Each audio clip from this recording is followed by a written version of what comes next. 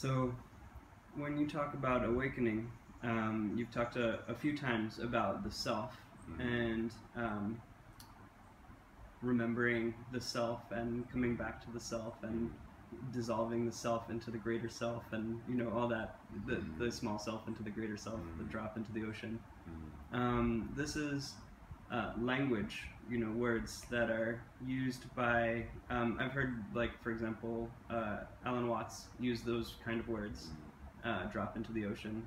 I think osho also uh, and rumi. Um, and uh, and then you have uh, people like eckhart tolle who use different language talking about the present moment. Um, and Eckhart Tolle, a quote from him, for example, is that awakening is awakening from the dream of thought, mm, yeah. right? And um, it kind of uh, you kind of think, okay, awakening from the dream of thought into your experience of here and now, mm. in a certain way. Yeah. Um, so it's it, it almost seems, if you're just looking at the language, like there's two kinds of awakening. There's like the no, uh, it's waking the up. same. No, it's the same. The here and now, the present moment is the self. The here and now is all that is.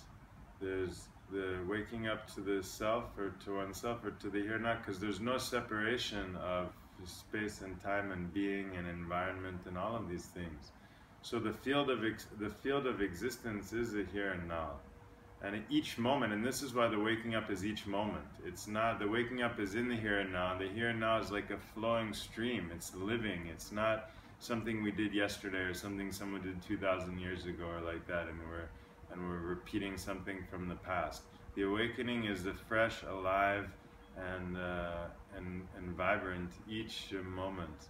And so it's not otherwise we think like okay i'm gonna climb the mountain and then like i did it okay in 2006 i climbed the mountain and that's it it's like what you know so so that it's it's the mountain if there's a mountain the mountain is each moment there's a mountain and the mountain is each moment and the mount but the mountain is also not my personal mountain not everyone's climbing their own little mountain like this right the So the mount, it's impersonal. It's the moment. So when we're, or it's like the waves. It's like a surfer learns to ride different waves. Then, so the the presence, the skillfulness. When we talk about skillful means, which is developed through wisdom, which is developed through the silence and through the the purification and stillness. I talk about the the foundations of stillness, the path of stillness and the teaching of stillness as being sufficient to bring about all the other mechanisms that need to unfold. Just the stillness, then all the other shit is coming up, and the purification, and the concentration, and the transcendence.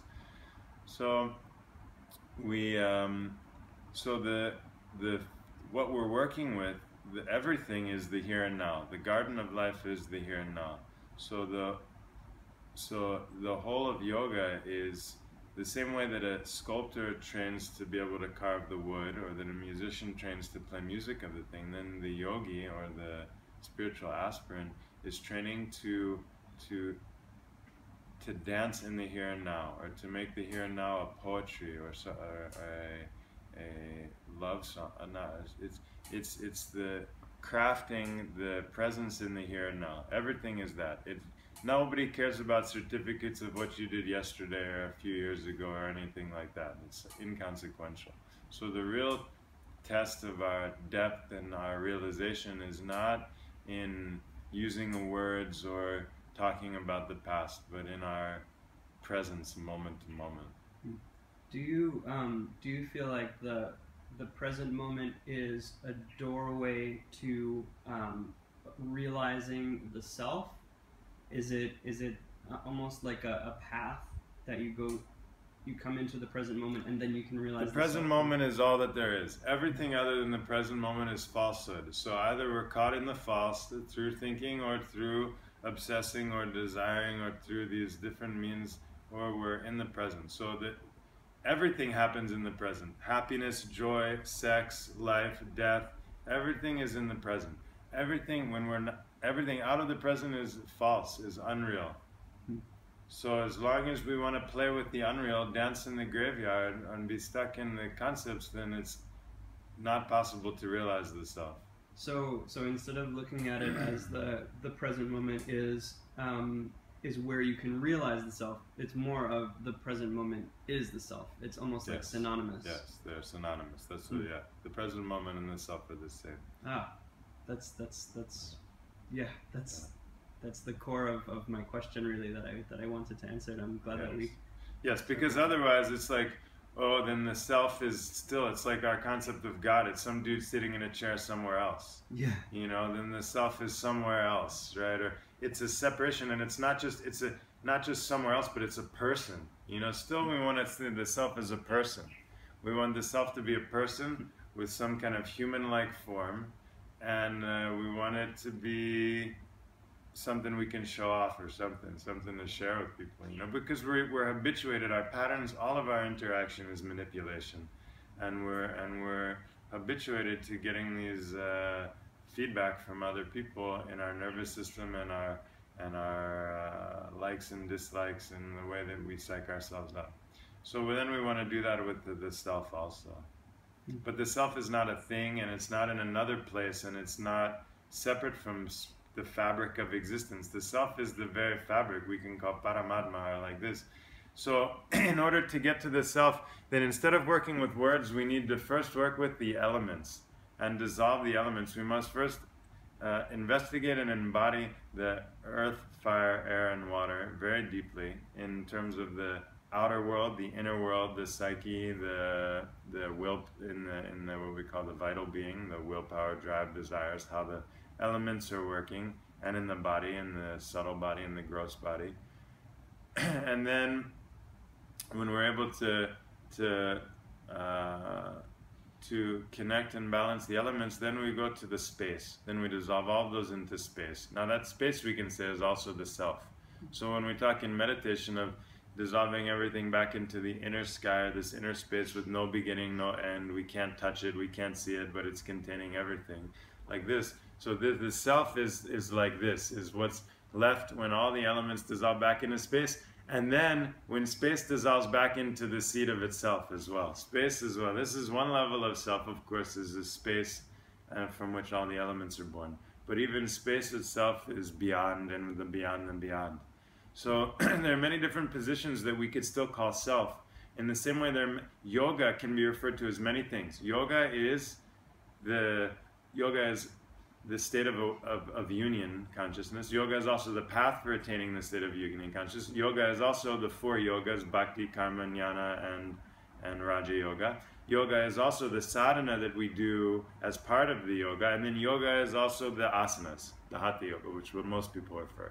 So we have this ambiguity of yoga, which is referring to many different layers. Also, we have this ambiguity of self, which can still be true at, at, at many layers that are still transcendental to our individual limited thing.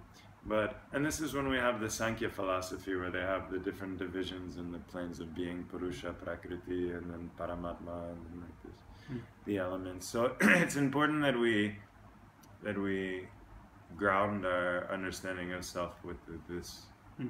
knowledge. So uh, that's that's amazing. Um, I've heard people say uh, use the word true self uh, when Uh, referring to this kind uh, of thing, yes. and um, to me, I, I I don't like the word true self personally Mm. because it, it sounds uh, uh, like the, all the other selves are untrue. Mm. Um, Yes. What What do you think about that? Do you is it is there like a true self that is the all containing Brahman or something like that, or or are these all true selves, all these levels, or is it the, the whole of it that is the true self, or is there would you just not use the Uh, word? again, we have this. I mean, true again is a trans can be translation for absolute and relative. We have absolute truth and relative truth. Hmm. So truth is also a satya. Like in English, truth has this weird connotation because it's the truth that comes through doubting and experimentation and learning, not the truth that the seed of truth which keeps bearing fruit of itself through this uh, through the deep uh, inner knowing.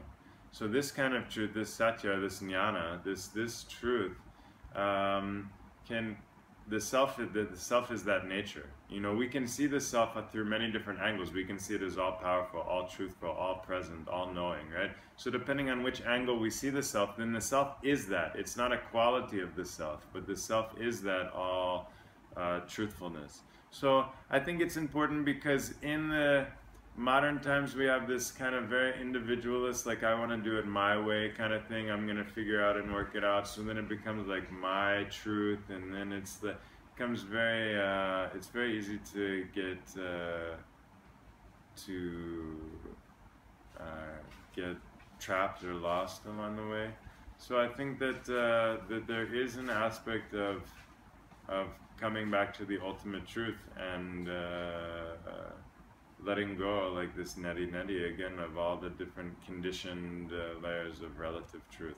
Hmm. Though we may resist this idea of uh, the one true way, because it's not like religion, like this is the true way and this is the true God, this kind of truth. But it's the truth that is the seed from which all emerges. Hmm. You know, truth not in like the like A plus B equals C kind of truth, but truth in the sense of this ultimate source of all creation and being and form and time. Uh, So would you see that that that source, like you're saying, living as truth. would you see that as as the truth, or and and then uh, what we see the multitude of things that come from that source as untrue or false in a certain way, or Well, would you- that's what they've called Maya, that they've called relative truth, or like this. I mean, they're both at, they're both, those are both manifestations of truth, which trans, which are transcendent in the beyond of that as well. But it's a, definitely a useful intermediary step in which to work through the layers of ignorance that, in general, we're all completely Hmm. uh, wa- washed away by. so so looking at at the the multitude and the Maya, the as, one and the many we can call. Right, the many. Looking of at the many as as falsehood in a certain way, you would say is a skillful means at, through which to come to the source, through to through which to come to the one, rather than actually saying that like ontologically, this is true and this is falsehood. Again, true and false are always relative terms too. It's in relation to what and within what framework. So it depends on the framework that we're working within. Of course, the spirit and matter, we can say, or the one and the many, are both two like two sides of the same coin that are inseparable and that the creativity of the spirit is expressed in the matter and the matter's essence is expressed in the spirit and the one and the many and there's and the and life itself or this this this uh, creation and existence is this like a dynamic um,